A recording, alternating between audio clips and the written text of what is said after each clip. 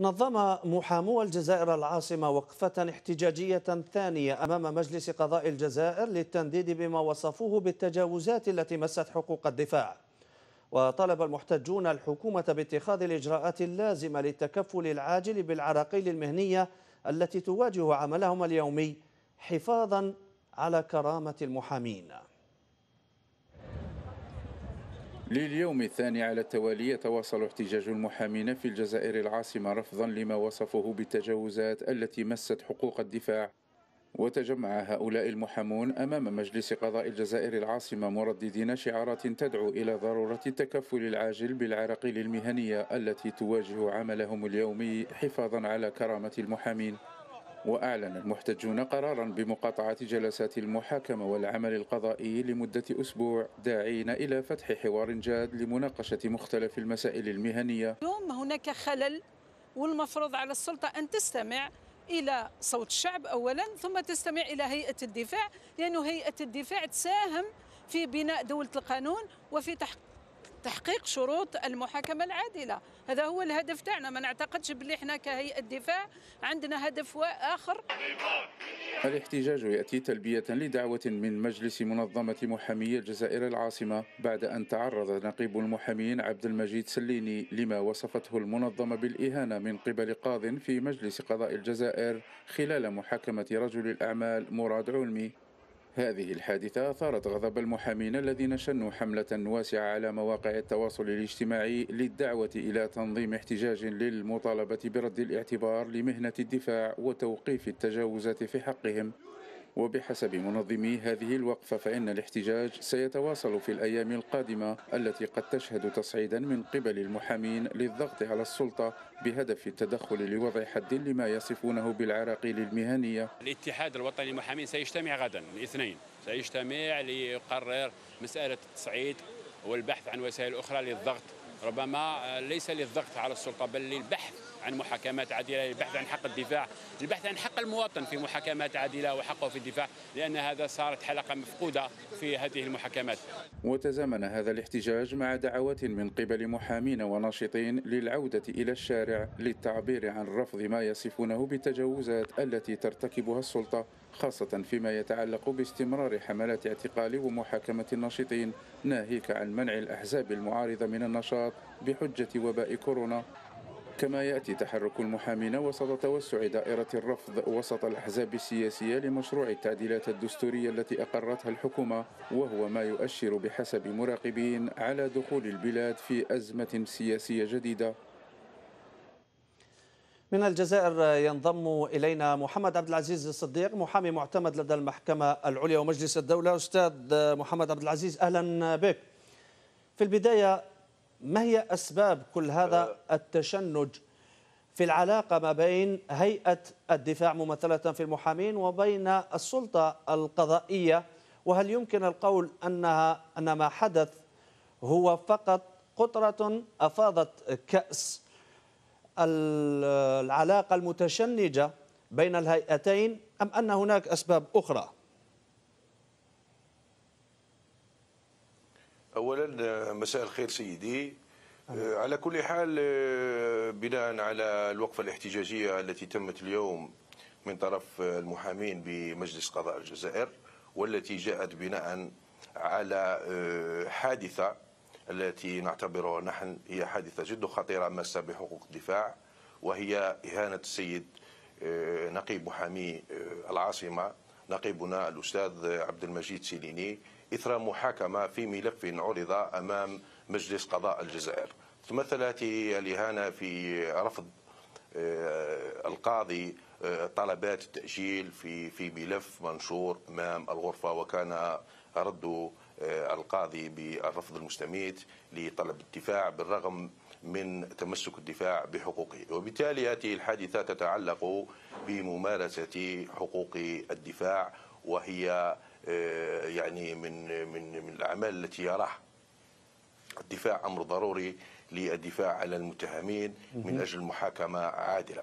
وبالتالي آه، بالمختصر المفيد أن هذه الحادثة آه، نندد بشأنها. نندد لأن الإهانة الموجهة إلى السيد نقيب هي إهانة موجهة لجميع السادة المحامون في الجزائر. نعم. لكن ألاحظ سيدي أنه هناك بعض الجهات من أرادت أن تستغل هذه الحادثة من أجل أغراض سياسية ومن أجل توظيفها في غير محلها. وبالتالي أنا أرى بأنه أصبح من مثلا مثلا هناك من رأى أن هذه الحادثة هي مجرد خلاف بسيط ما بين محامي لمتهم وتشخيص هذا الملف على أساس أنه ملف يتعلق بأشخاص معينة. لكن المسألة والحادثة ليست ليست هكذا مطلقا بل المسألة تتعلق بالمساس بشرعية الدفاع والإهانة الموجهة إلى آه، السيد عبد المجيد سيليني وهو نقيب المحامين والإهانة التي تلقاها أو محاولة آه، إهانته التي نرفضها آه، جملة وتفصيلا من أجل توفير محاكمة هل هي حادثة معزولة أستاذ محمد عبد العزيز أم أنها ربما تأتي تكرارا لسلسلة حوادث قد يكون تعرض لها محامو الدفاع. وهذه المرة ظهرت للعلن بما أن المعني هنا هو النقيب.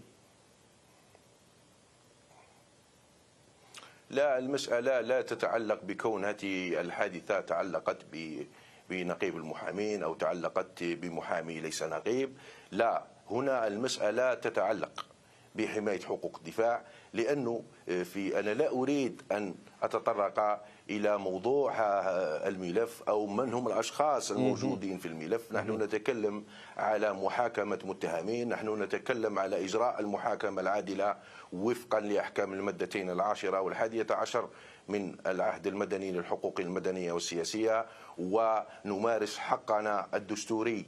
المكرس دستورا وهو حق الدفاع. وبالتالي هناك فعلا بعض آه، بعض يعني المشادات وبعض الحوادث التي تكون منعزلة في محكمة وأخرى. لكن لم نجد يعني آه، أنا أعتقد في رأيي أن ما حدث ما حدث يوم آه، يوم الخميس هو سابقة يجب أن تتدخل الجهات الوصية. وأنا متأكد بأن الجهات الوصية ومؤسسات الدولة ستتدخل في الساعات القليلة القادمة وسيتم تسوية آه، في رأيي تسوية هذه الحادثة ورد آه، هيئة الدفاع والدفاع هو خط أحمر ويجب توفير المحاكمات آه، العادلة بتمكين الدفاع من ممارسة حقوقه في أريحية. في هذا الأساس كانت بعض ردود الأفعال من بينها البيان الذي صدر عن نقابة القضاة والذي رأى فيه بعض المحامين أنه أيضا يحمل بين قوسين بعض التجني خصوصا في إشارته إلى حادثة التي تعرض لها سليني. يعني كيف تعلقون من جهتكم على ما قاله نقيب القضاة؟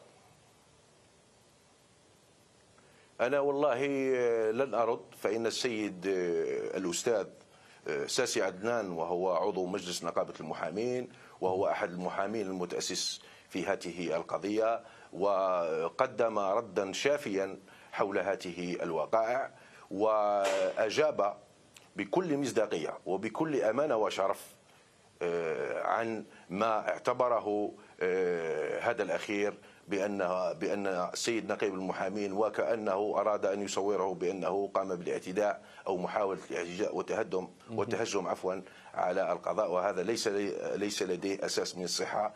لأن المسألة آه، كانت تتعلق بتأجيل هذا الملف من أجل منح المحامين أريحية من أجل أن يقدم آه، المحامي مرافعته في ظروف آه، تكون مناسبة لتقديم دفاعه إلا أن القاضي امتنع امتنع يعني عن منح أجل كافي. بمعنى يعني أوضح لك سيدي تم تدوين بعد الانتهاء من الاستجوابات وبعد ما قدم الطرف المدني طلباته المكتوبة وبعد مرافعة السيد النائب العام بمجلس قضاء الجزائر تم تم فتح باب المرافعات أين تم تدوين أسماء المحامين آه، المتأسسين في الملف وعددهم آه، كبير. لذلك لجأ الدفاع بتقديم طلب إلى استمراريه استمرارية هذه المحاكمة إلى يوم السبت وتمكين السادة المحامين من تقديم دفوعهم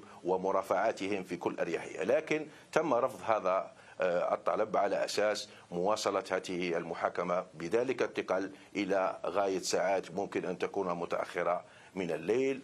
ولما رأى السيد نقيب المحامين وتأثر بما كان يجري في ساحة هذه آه، المحاكمة تأثر مما أدى إلى إصابته بوعكة صحية خطيرة. آه، أتمنى له الشفاء العاجل إن شاء الله. نعم.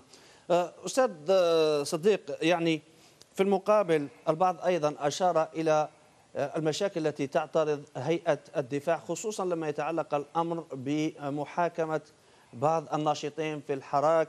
يعني إذا كان الأمر هكذا مع النقيب فكيف يمكن أن نصف العلاقة ما بين محامي الدفاع وهيئة القضاء عندما يتعلق الأمر ببعض القضايا ذات الطابع السياسي